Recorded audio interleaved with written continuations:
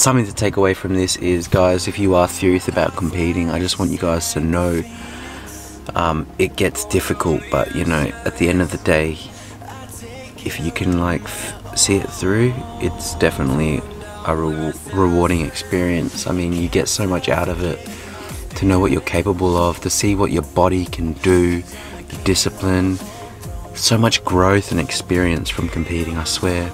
Um, it truly is um, amazing, and I encourage you to at least try it once.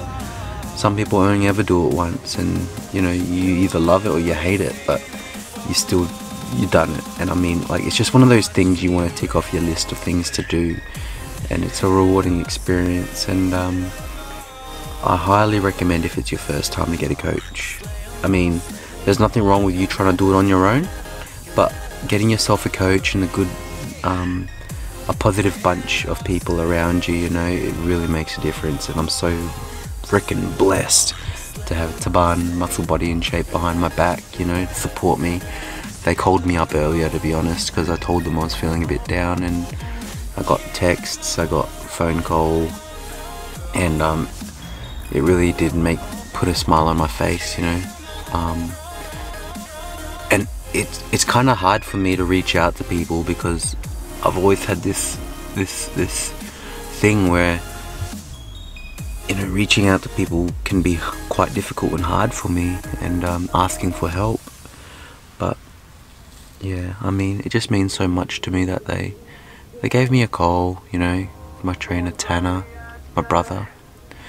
He was the um, he's the previous champion of Tabban muscle body and shape you know.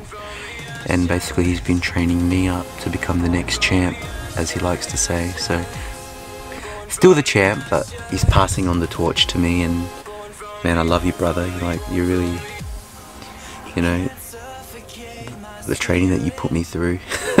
Take me to hell, man.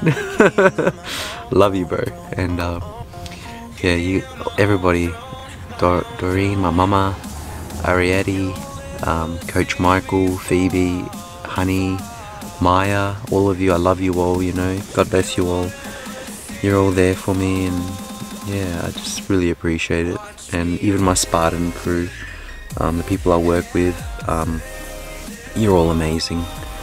Um, this year alone, 2019, has really, really, um, it's been amazing. And every year is amazing, but 2019 is definitely tops it, you know to get back into my rhythm, you know, to get my identity back as a bodybuilder. And it's just, I cannot be any more thankful and show my gratitude to the people who I care about most. And I'm so thankful to God, you know, um, and to all of you. And yeah, I'm gonna wrap it there because it feels like if I keep going on, I'm gonna keep rambling on and I'll probably end up crying or something. And I gotta go into the gym, so we're gonna leave it at that. I love you all.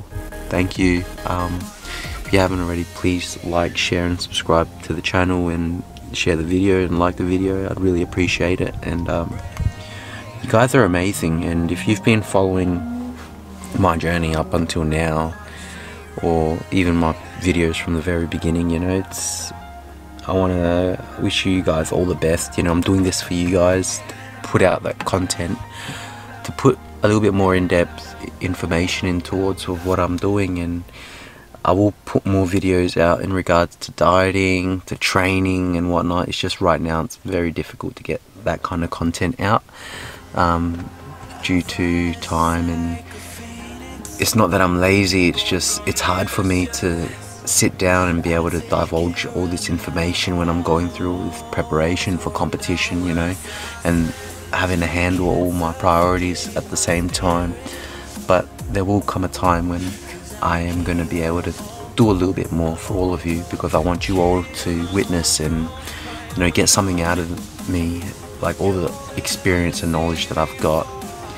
And um, yeah, we're going to leave it at that. So God bless you all. I love you all and peace. Oop.